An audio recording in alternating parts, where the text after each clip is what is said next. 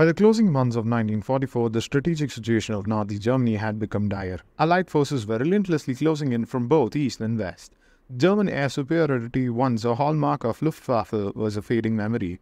In this atmosphere of desperation, the German aircraft manufacturers were presented with a daunting challenge to conceive and develop a fighter jet mm, that could be produced rapidly and at a cost, with the potential to wrest back control of the skies. The He-162A, also known as the Volksjäger or People's Fighter, emerged as a product of the urgent need. In an astonishing fate of wartime engineering, the 162A went from drawing board to first flight in mere 69 days. This breakneck speed, however, came at a steep cost. The Volksjäger concept was ambitious. It aimed to be a jet fighter that could be mass produced using readily available materials, flown by pilots with minimal training. This focus on ease of use and production speed came at a cost.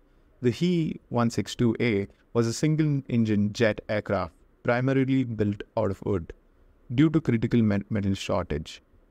This unconventional design, coupled with the rushed development process, resulted in the aircraft with a number of drawbacks. Was notorious for its unforgiving handling characteristics.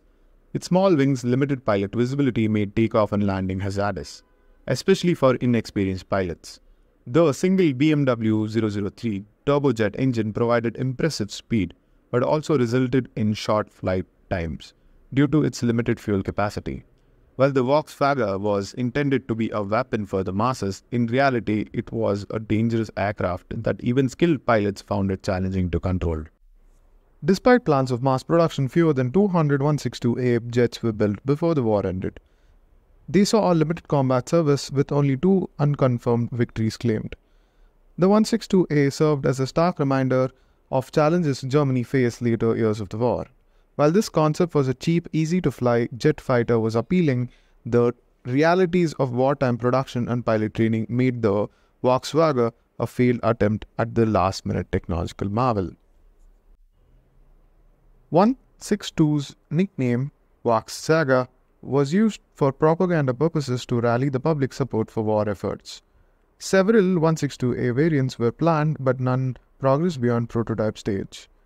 A few captured the 162A jets still exist today in museums around the world, serving as a reminder of the unique and ultimately unsuccessful wartime design.